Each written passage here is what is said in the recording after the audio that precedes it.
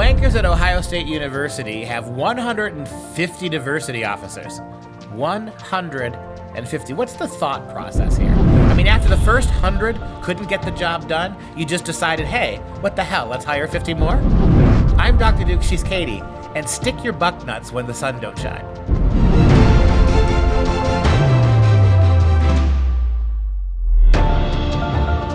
Hello, everyone, and welcome to the Dr. Duke Show, the only program that keeps you educated on the craziness impacting K 12 classrooms and college campuses around the world. I am justifiably angry at the Ohio State University, the, the flagship university of the state I grew up in. What do you think you're doing?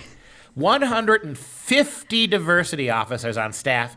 Dozens of new woke professors are being hired. At least 50 social justice professors, uh, uh, social justice professors are about to be hired. Can't you, can't you just go back to overpaying college coaches? Can't, can't you just go back to overpaying for college coaches? Please?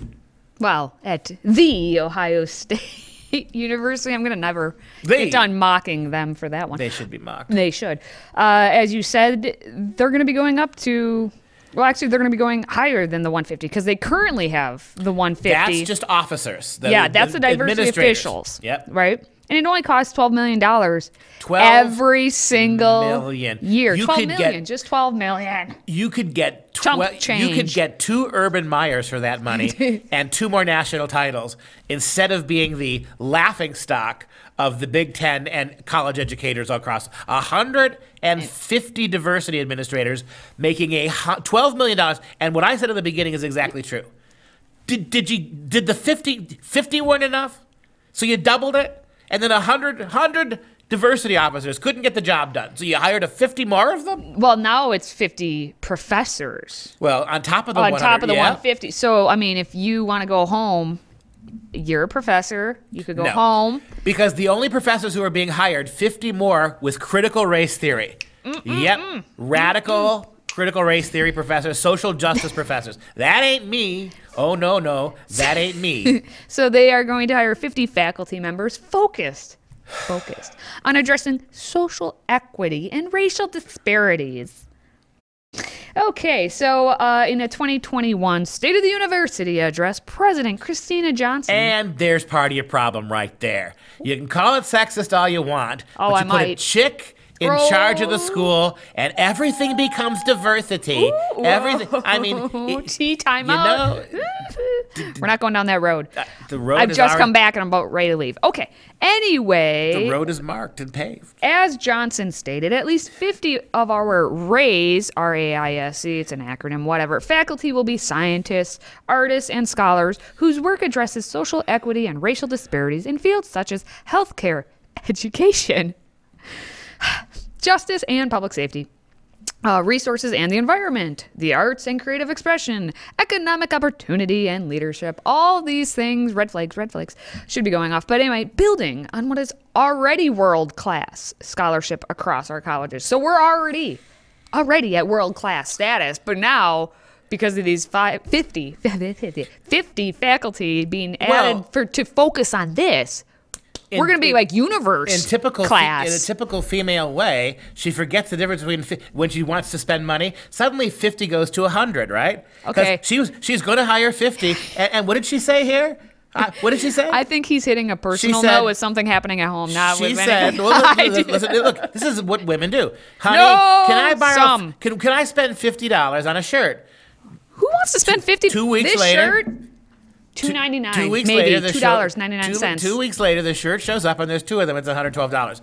she said 50 now, right?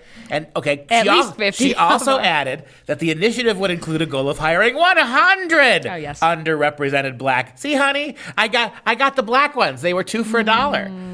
Give me a break with this. Known as the color of their skin is what makes them valuable. And then she says, very female sanctimoniously, quote, I want every single Ohio State student to be able to look across the lecture hall or seminar table and understand immediately that no white people will be allowed here ever again. oh no, I'm sorry. I'm pretty sure that's not what it says. That all students, except white ones, will be, a- be, be are able to dream and have valid dreams and achieve. Yeah, right. For those of you only listening at home and not visually seeing him say these, not the white ones, he was That is not part of the actual This is quote. a Bill Burr comedy sketch. this is a Bill- Bill- Can you Bill imagine Burr. Bill Burr? What's going on in Ohio State? What's going on? Leave it to Bill Burr to do that. Anyway, back to your Ohio State. Um, this RAISE initiative, the RAISE E initiative, is part of a larger plan to hire a total of, we're just going to keep climbing. 50, 100, 350, Oh. roughly, roughly 350 tenure track. Hey, tenure track. Yes. You could be back on tenure track here in the coming years. Yes. So 50 becomes 100, 100, becomes 350. It's called the female economy, like my friends.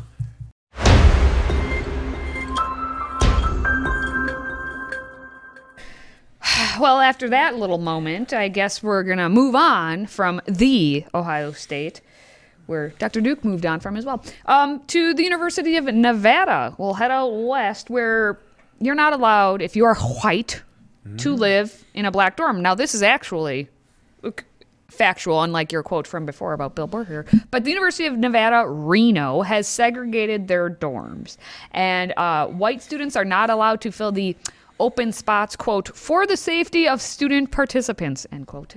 And uh, they basically, the way they're saying this is on their website, they have three minority specific, minority only, if you will, living learning communities. This is basically where uh, you go to college and you decide we're going to all live together in the same dorm, on the same floor, and we're going to kind of basically have a lot of classes together, and we're going to have mentors So or stop whatever. Stop calling it minority then, because you just give them. They are a, they are not just a majority. They are the only ones allowed in those dorms. In, in this, it's a, like a specific grouping floor part of the. Yeah, it's all in the same So big dorm in- building. In those contexts, they are not majorities. They are mm-hmm. discriminated. They are not minorities. They are discriminating majorities. They have all that, pace, that space to themselves, and they are under no obligation to diversify it.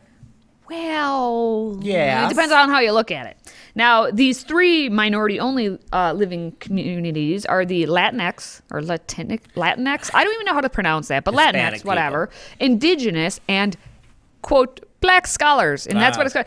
What's fascinating is the website actually specifically states that these living learning communities, all of them, have named themselves. So Ah. Black Scholars is named go. itself. Okay. So What uh, the Crips they're- and the Crips and the Bloods were there you copyrighted. go. Now there are 14 in total, so three of the 14 are narrowed out for these minority only. Here's what's interesting to me when you look at all 14, there's one that is a journalism group, which tells you everything you need to know about journalism these days because they have to have their own living learning community. The gender, sexuality, identity group. I, don't know what qualifies to get in that one.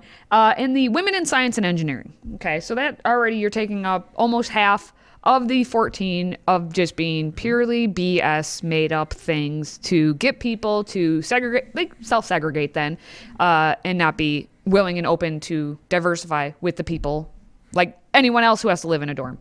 So in LLC, I already kind of, kind of said their communities and they they get together. Now, according to the university, the way they pitch it to the kids is this experience of them living and learning together is considered a high impact practice. And it, apparently, by doing living together, they're going to get higher GPAs and they're going to be better citizens. And if you did this exactly the opposite with white kids, Yes. and you pointed out by white kids sharing dorms only with themselves, having all of these resources, all of this attention brought to bear on just white communal education, those kids would be doing much better too. And you would call that white privilege, wouldn't you? So what this is is black or Latinx or black scholar privilege. Quit pretending now. I mean, you you've already decided in your mind it's morally okay to discriminate. So call this what it is, right? This is literally black privilege. This is Latinx privilege. You know what I would do if I were a young buck? it's- Since the I would have to leave Ohio State for their stupidity. If I was a young buck looking for a college, I might go to the University of uh, Nevada, Reno. And what I might do is I might rent a school bus, park it outside this building, and have white people only in the back seats and I would go to the cafeteria and I would put signs up that says only for black students and have white people eat in the back. And you know, I don't think people would really get all that mad about it. Well, there's we'll have a special where Dr. Duke goes on site and conducts these Man on the experiments. street. Yeah, man on the I'm, street. I'm sort young thing. enough looking, aren't I? I could pass for a college No, kid. not in the least. Now, this uh, being in Nevada, as you're saying, you should call a spade a spade, but they're not doing that. Racist. Well, you know, spade. Call a shovel a shovel. Yeah, that too. But Yeah. I like to think of spade as well because of Nevada gambling. So I What- took what- it to a whole nother spade. What have you got Get against it? David Spade? Dave, he's short like me. Now, anyway, um, ac- you have to ask yourself, what does it take to get into this? These various living learning communities. Oh, oh, oh, ooh, Mr. Carter. You got to be Latin or black.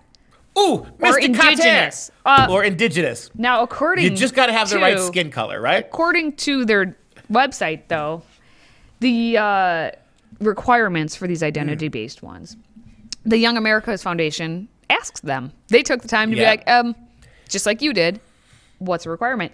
And according to the executive director of Residential Life, Housing, and Food Services, Dean Kennedy, he said in the identity based communities, for the safety, as we Hmm. indicated before, safety of student participants, it's important only students who hold that identity are considered. Explain, explain the security threat. What what is the danger to these kids if they actually have to mingle with white people? What is the danger? They might actually what?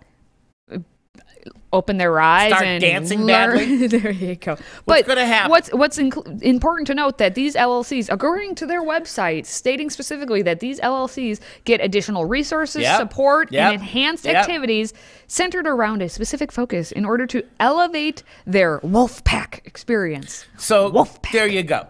So They're announcing it. white people what they're telling you now is the presence of white people is da- is a dangerous threat to these Mm-hmm. so why are you allowing white kids on campus period why because you need somebody to pay for these programs if the if, if you got your wish and didn't take any white kids then who would pay for this nonsense now, there's an important update to this. yes update Dean Kennedy messed up just slightly. did he in that little statement. He so there's an update, but that's okay. Uh, now the claim about the Black, Latinx, and the Indigenous dorm communities are open to any and all Oh. students. because the hit Dean, the, like he misspoke, as they, they say he misspoke when he originally said that only students who hold that identity are considered. yeah so the fecal safety. matter Whoops. hit the bivar what do we call that What a ah the the fecal matter hit the oscillating. air current machine and so Dean Kennedy now has to walk back his statement. But guess what hasn't been walked back? The segregation and all the extra money that goes to segregation. Way to go Nevada. We're taking us back to the 1850s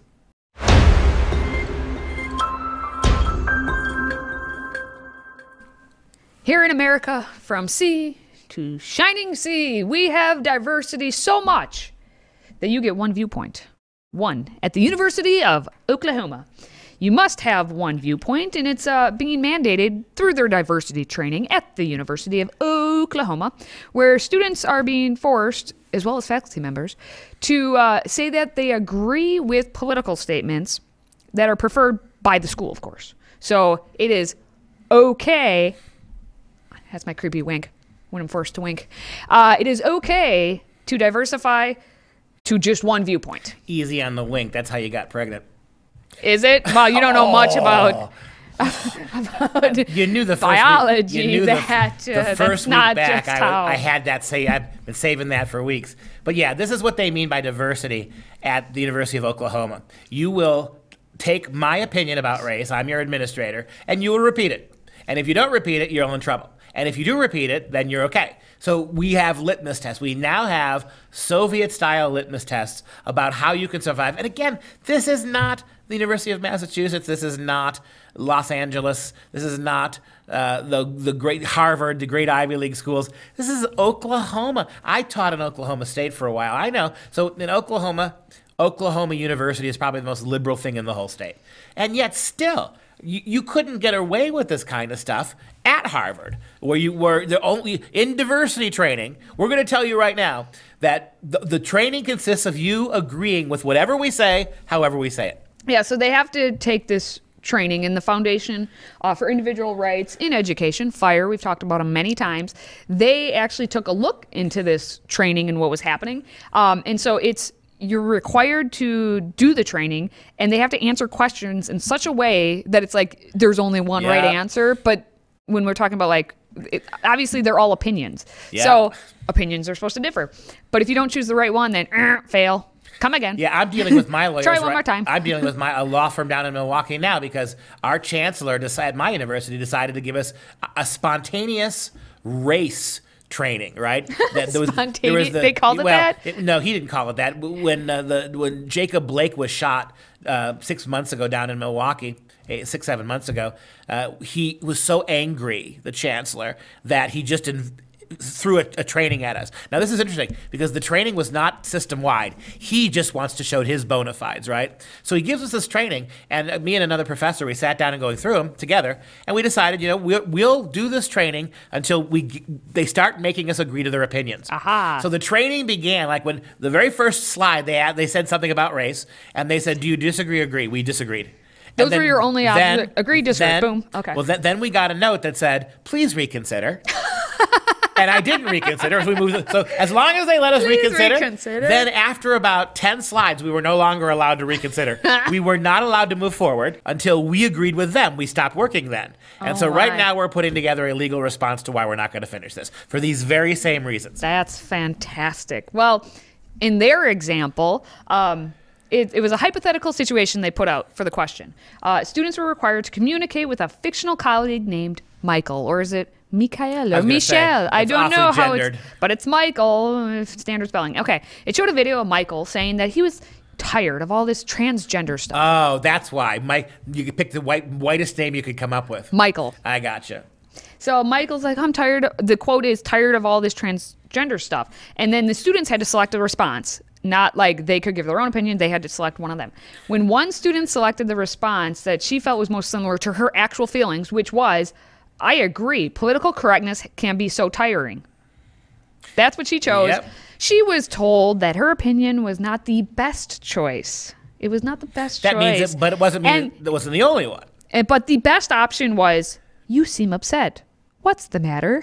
Okay, but but but notice how they're implying that you have choice. Well, they're implying that you have, But yeah, you can't move really- forward. That's right. Okay. Until you change your mind, and that's what happened to us. I, was actually amused. The first couple of slides, it said, "Please cons- reconsider," and they told us why, and we didn't reconsider. But we got, and I could live with that because I'm a, I'm allowed to ignore their stupidity. That's true. And I, I read their propaganda. I nodded. I, I didn't agree, but I was allowed to move forward. That ended really quick. Up quick and in a hurry. So, quick. so Fire is saying they actually wrote a letter to Oklahoma saying, okay, if you're gonna have students do this, like you can't make this mandatory or you have to let them Yeah. have their opinions. Like you can't have it both ways, right? That's exactly right. But they always want to have their cake and eat it too. Although cake has too many calories, and a lot of these vegans don't eat anything. Because let's let's be honest. Anyway, be honest. moving on. So, um, Fire Sabrina Conza actually said how this violates First Amendment, and that's obviously what Fire is all about is the First Amendment. And she said at a public university, again, public university, requiring students and faculty to express agreement with the university's position, viewpoint, or values in this manner runs headlong into the First Amendment, right against compelled speech uh, as the First Amendment protects not only the rights to speak, but also the right not to speak. So, Yep. Yep. mind blown. Uh huh. Oh, and by the way, my chancellor put this mandatory race training on the books because he was so infuriated it happened again. Turns out that we found out last week that there was no charges filed against the police officer. He was returned to duty. In other words, it was a justifiable shooting that Mr. Blake was in the wrong and what happened was within the boundaries of legitimate force. So, do you think my chancellor is going to get back up on the news now and apologize for that? Because when he forced us into this training because of that shooting, it was under the implication that this black person was shot for no good reason. It's not true, Chancellor. I think not only should you drop the trace, race, race, the racial training that you forced on us because of that situation, in your own words, and you should stop using your position to bully people into thinking what you think all the time.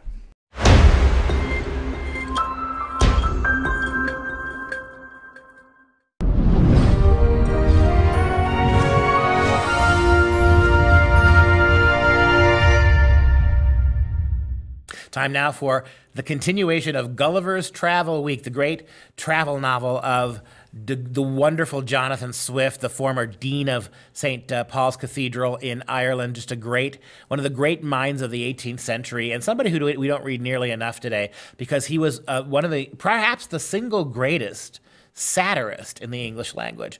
He, don't forget, he gave us a modest proposal. You may remember that, right? A savage account of why we should start eating Irish babies because, of course, they grow up to be worthless Irish people. And if we wanted to, to, to, decrease the surplus population, what if we ate babies instead of chickens? It was wonderful. And, of course, the whole thing was satire, but it was written so deadpan that people thought he was serious, raised a firestorm in the 18th century, and taught us something about race and about uh, ethnicity, really important. So here's what he says for today's episode of this about how we we what do we prioritize in the West? What do we pri- prior? This is the 18th century. What do we what do we prioritize? He says, I replied that England, the dear place of my nativity, was computed to produce three times the quantity of food, more than its inhabitants are able to consume. That's a good thing. But in order to feed the luxury and intemperance of England's men and the vanity of England's females, we sent away the greatest part of our necessary things to other countries from whence in return we brought the materials of diseases, folly, and vice to spend among ourselves. So we grew three times as much food as we needed, and we sold it all to what? To bring back silks and gold and, and trinkets and all sorts of things that lead to nothing but corruption. Hence, it follows of necessity that vast numbers of our people are compelled to seek their livelihood by begging, robbing, stealing, cheating, pimping, forswearing, flattering, suborning, forging, gaming, lying, fawning, hectoring, voting, scribbling, free thinking. What happened? You sold all the food to bring in delicates that only the rich people could afford. And then when the, the poor people had nothing to eat, they became criminals. That's the system of the West to this day. Not because capitalism bad or free, free markets is bad, but because the vanity of the elite classes sacrifices what everybody needs for their own particular vanities. All right, just a quick reminder to please download our new Freedom Project Media app. We've got a lot of great content on there, including our 18 new shows every single week. All you have to do is search Freedom Project in your App Store and make sure you allow for notifications. And if you're a fan of this show, please consider a one time tax deductible donation to support the Patriot Club, and we're going to send you, as a little thank you, our signature tumbler. Visit patriotclub.us to get signed up. That's patriotclub.us. Now, we want to take a moment to show some love to our Patriot Club members, and today we're giving a shout out to David from Birmingham, Great Britain, you say? David, are you one of the Peaky Blinders? are you one of the. Don't mess with the Peaky Blinders! They're from Birmingham. Birmingham! Maybe, maybe he is. Well, either way, David, if you're not a Peaky Blinder, thank you for supporting I us. I would like to thank you, David, for being a Peaky Blinder and standing by the show. And that wraps up the show for this week for Freedom Project. I'm Dr. Duke. She's Katie. Until next time, don't mess with the Peaky Blinders, says Arthur.